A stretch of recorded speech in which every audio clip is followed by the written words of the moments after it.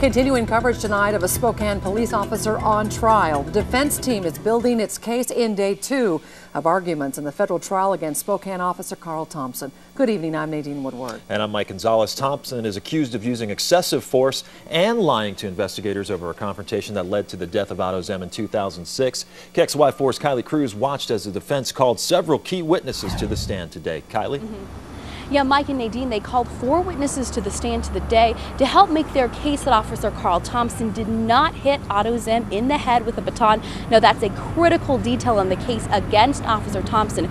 Now, first up today was defense expert Dan Davis. Now, who he has said that he's reviewed 15 to 20,000 death investigations during his career, and he was the first to testify. He testified injuries to Otto Zehm's head and neck were not from a baton, and he said they were from something bland and flat like the floor or possibly the store shelves in the zip trip. Next up, the defense called an eyewitness that saw Zehm struggling with Officer Thompson.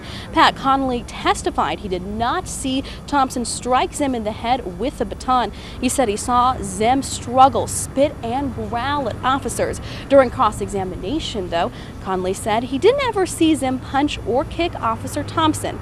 Also called up to the stand today, Officer Steve Braun, who was the second officer on the scene that night and joined Thompson's struggle with Zehm. He testified that he told Zehm several times to stop fighting and stop resisting, but said Zehm never stopped.